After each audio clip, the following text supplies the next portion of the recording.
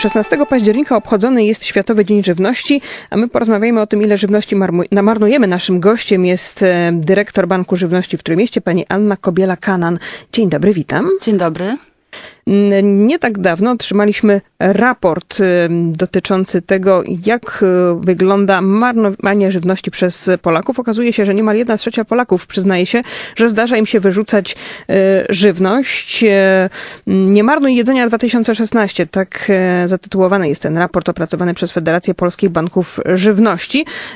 Czy to są bardzo dramatyczne dane, czy jednak sytuacja i świadomość społeczeństwa w zakresie niemarnowania żywności nieco się zwiększa?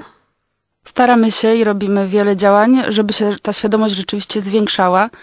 Jednakże ta skala marnowania jest wciąż bardzo wysoka. Szacuje się, że w Polsce marnuje się 9 milionów ton żywności. To jest ilość, której, którą trudno sobie nam wyobrazić. Rocznie? Z czego, rocznie, z czego 2 miliony y, ton marnujemy my sami w gospodarstwach domowych.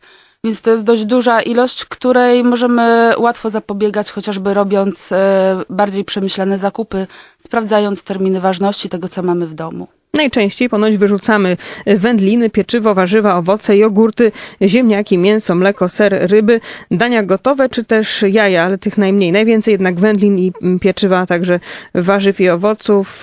Często przyczyną jest przegapienie terminu przydatności do spożycia, no ale to pewnie także wynika z tego, że e, niefrasobliwie robimy zakupy, bo albo po pierwsze nie patrzymy na termin przydatności, kiedy kupujemy dany produkt spożywczy, albo robimy tych zakupów zbyt dużo. E, to prawda. Jeżeli chodzi o chleb i wędliny, to y, zauważmy, że są to rzeczywiście takie produkty, które się szybko psują, tracą na ważności, ale też nie myślimy o tym, że pół bochenka, jeżeli widzimy, że ten chleb się nie zużyje, możemy na przykład zamrozić. E, a wędlinę możemy pokroić drobniej i wykorzystać chociażby w poradnej jajecznicy, jeżeli widzimy, że rzeczywiście jest za dużo i nie spożyjemy jej na kanapkach. 16 października obchodzony jest Światowy Dzień Żywności. O akcjach podejmowanych e, w związku z tym świętem jeszcze powiemy w naszej rozmowie, ale ja bym chciała zapytać, jak wygląda Państwa praca e, w ciągu całego roku? Na czym się skupiacie? Mamy kilka takich e, sfer działalności. Naszą podstawową działalnością jest właśnie ratowanie żywności przed zmarnowaniem poprzez jej odbieranie od producentów, dystrybutorów, rolników i przekazywanie przez sieć ponad 40 organizacji partnerskich do osób potrzebujących. Tak więc ta żywność, e, która mogłaby rzeczywiście trafić do koszy e, za kilka dni, przez te kilka dni, kiedy jest jeszcze rzeczywiście zdatna do spożycia, trafia do tych osób, które tego najbardziej potrzebują. Czy prawo sprzyja e, działalności banków e, żywności? Kiedyś słyszeliśmy o takiej głośnej sprawie, kiedy to e, jeden, jeden piekarz przekazywał chleb ubogim, potrzebującym, no ale potem okazało się, że musiał od tego zapłacić tak wysoki podatek, że no, zrujnowało to jego działalność gospodarczą. Banki żywności podejmują też działania, które mają usprawnić działanie naszego prawa i między innymi właśnie E, ta afera e, pozwoliła na zmianę prawa w takim zakresie, że w tej chwili żywność, którą przekazujemy do Banku Żywności, można odliczyć od podatku, więc jest to raczej e, pozytywny wymiar niż negatywny. Trwają również prace nad ustawą podobną do tej, która weszła we Francji, która nakładałaby na duże sieci handlowe obowiązek przekazywania żywności z krótkimi terminami spożycia, tak żeby jej nie musieć utylizować a za każdy utylizowany kilogram mają być kary finansowe. Miejmy nadzieję, że ta ustawa rzeczywiście wejdzie niedługo w życie. Mówimy o tym, jak na ogół wygląda e, praca banków żywności, a jak wygląda dokładnie tego banku żywności w Trójmieście. Czy możemy powiedzieć, podać jakieś dane, jakieś e, statystyki, jeśli chodzi i o odbiorców, i o e, ilość żywności, którą przekazujecie, która trafia też do Was w ciągu roku? W zeszłym roku e, udało nam się uratować przed zmarnowaniem, przekazać potrzebującym e, prawie e, tysiąc ton żywności. W tym roku przekroczyliśmy tą liczbę już w pierwszych czterech miesiącach naszej działalności. Mm, pomagamy poprzez sieć ponad 40 organizacji prawie 12 tysiącom ludzi.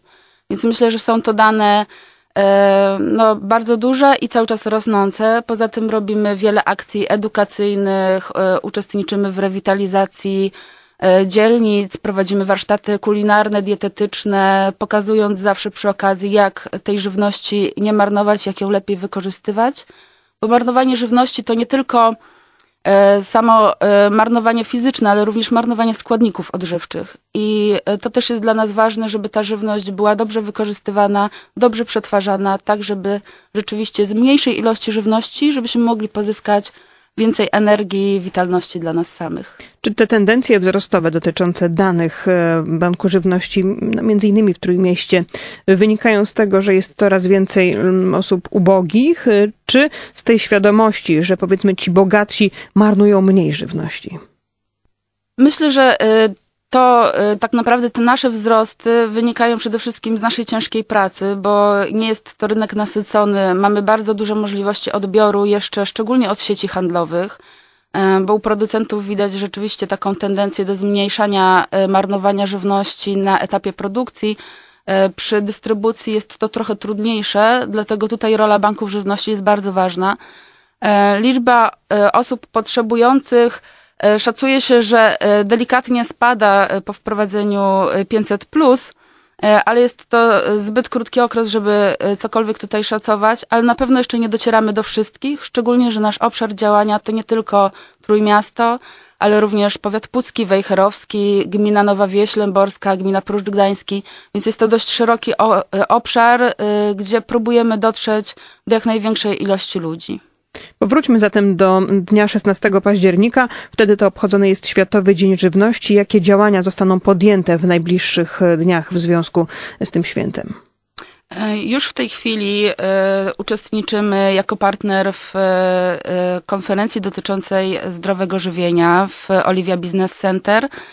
Jest to konferencja, na której zgromadziło się wielu nauczycieli i to jest też grupa, do której chcemy w w tym terminie dotrzeć, ponieważ głównym tematem Światowego Dnia Żywności w tym roku e, w bankach żywności jest chęć uświadomienia e, nie tylko właśnie skali marnowania, ale też tego, jak możemy zapobiec marnowaniu żywności w szkole poprzez przedłużenie przerw.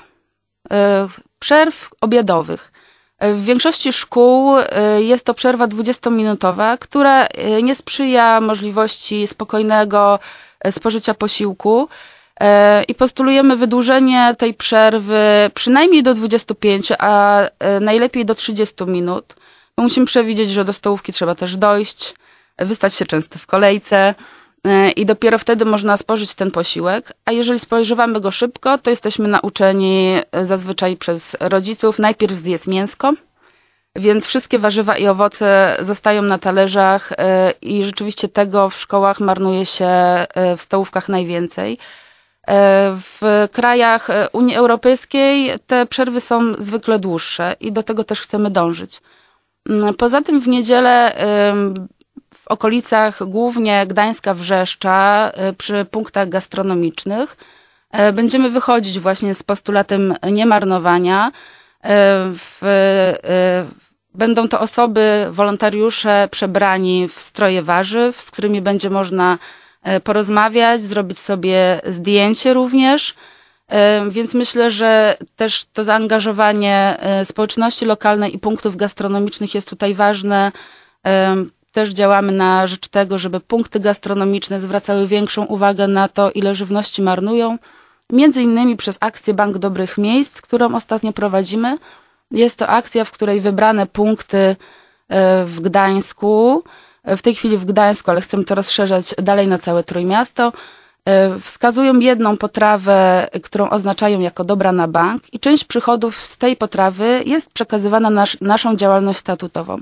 Jednocześnie trzeba zauważyć, że te punkty w naszej umowie również zobowiązują się do tego, że e, będą zwracać szczególną uwagę na niemarnowanie żywności w swoim punkcie. Zachęcamy do tego, aby zainteresować się działalnością Banku Żywności w Trójmieście, ten najbliżej, ale jak słyszeliśmy, nie tylko w Trójmieście działa, ale także na terenie y, poza Trójmiastem, w powiecie puckim, wejherowskim między innymi. Y, przypominamy także o akcjach. Bank Żywności w Chojnicach, dzisiaj warsztaty kulinarne, konkurs dla uczniów szkół gimnazjalnych i ponadgimnazjalnych. Y, w Słupsku jutro strajk żywności ulicami Słupska, happening, ale także między innymi konferencje e, i moduły warsztatowe e, to w Trójmieście. Światowy Dzień e, Żywności 16 października, a my pamiętajmy o tym, aby robić z rozwagą zakupy i nie marnować jedzenia. Dziękuję serdecznie za wizytę w studio. Dziękuję bardzo. Naszym gościem była pani Anna Kobiela-Kanan, dyrektor Biura Banku Żywności w Trójmieście. Radio Kaszebę. Dzień dobry Kaszubę.